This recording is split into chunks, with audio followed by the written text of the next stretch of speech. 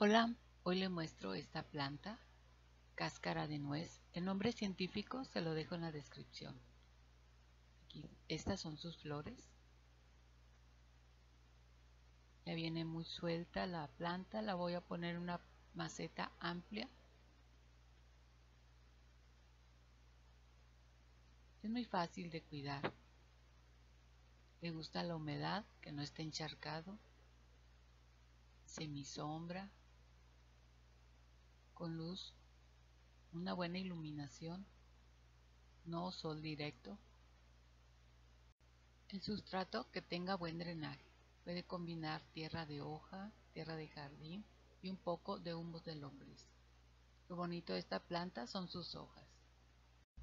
Como la planta viene húmeda, voy a utilizar sustrato seco. Al tercer día ya la puedo regar. También la puede reproducir por hoja en un sustrato un poco húmedo y ponemos la planta en la sombra. Al tercer día en semisombra. Hay que esperar que el sustrato seque completamente para poder regar.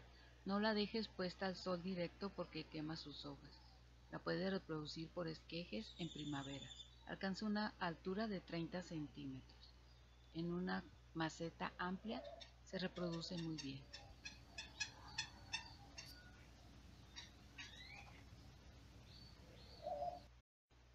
Espero les guste esta planta con sus lindas flores. Le invito a suscribirse si no se ha suscrito y activar la campanita de notificación para ver los siguientes videos. Muchas gracias por estar aquí.